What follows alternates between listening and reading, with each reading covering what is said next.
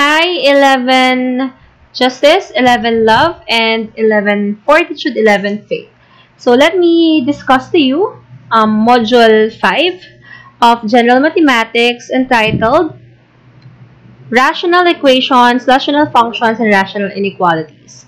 So on this module, you will be able to identify which of the following or which of the given examples are functions, equations, and inequalities. But before that, let me present to you the competencies that you need to attain or we need to finish this um, session. First one is to distinguish among rational functions, rational equations, and rational inequalities. You should be able to determine whether the given is a rational function, a rational equation, or a rational inequality. Let's start with the basic. Let us define rational expression. So a rational expression is an expression that can be written as a ratio of two polynomials. So again, when we say rational, the keyword there is ratio. So that is a fraction. Now, an expression is composed of two polynomials. Take a look at those examples. First one is 2 over x. So that is a rational expression. Second one is x squared plus 2x plus 3 over x plus 1. Also a rational. 5 over x minus 3. That is also a rational expression. Same goes with x minus 1 over 2x plus 3. And lastly, 5x over 4. All these five examples are rational expression. They are fractions. That's why they are rational expression.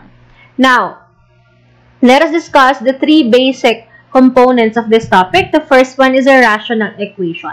So what is rational uh, um, equation? Based on its definition, an equation involving rational expression. Therefore, both sides of the equation should be rational expression separated by equal sign. Let's take a look at the examples. The first one is 2 minus um, 2 over x minus 3 over 2x is equal to 1 fifth. Both sides have um, rational expression and thus separated by equal sign. That is an example of rational equation. Another is x plus 1 over 2x is equal to 3 4 or 3 fourths. Therefore, both sides have rational expression and separated by equal sign. That is also an, an example of rational equation. So again, when we say a rational equation, both sides should be a rational expression separated by equal sign.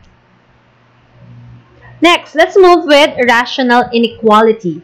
In rational inequality, you will be using less than, greater than, less than or equal, greater than or equal. Those are your inequality symbols. By definition, rational inequality involves rational expression with inequality symbols.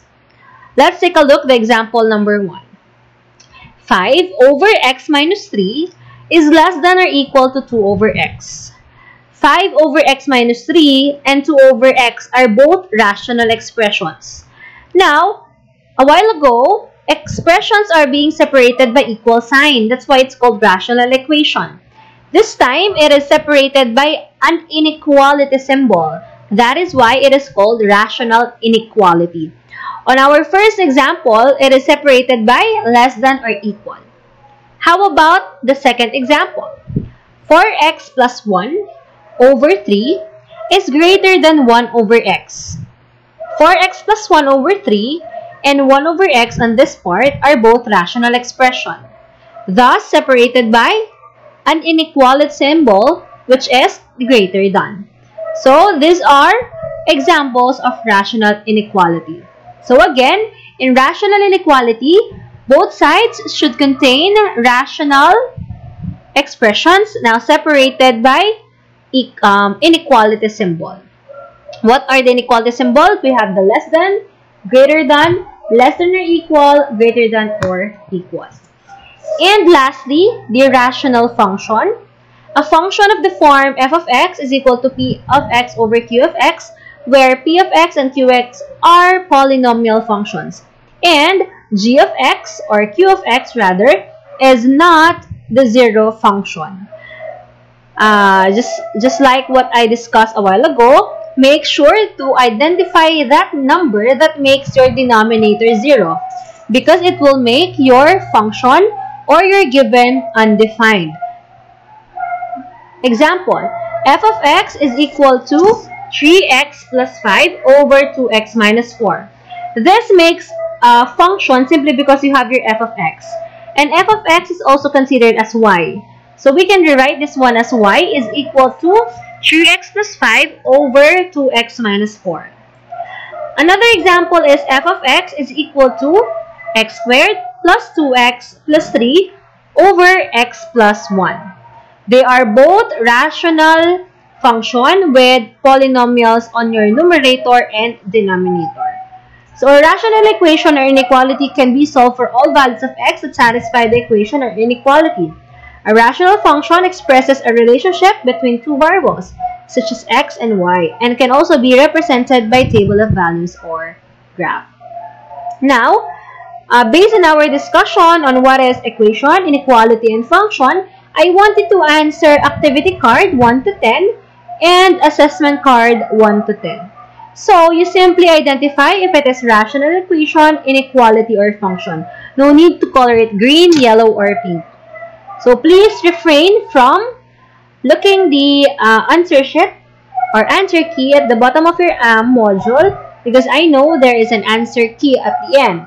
But still, please be honest in answering your activities. That's all and thank you.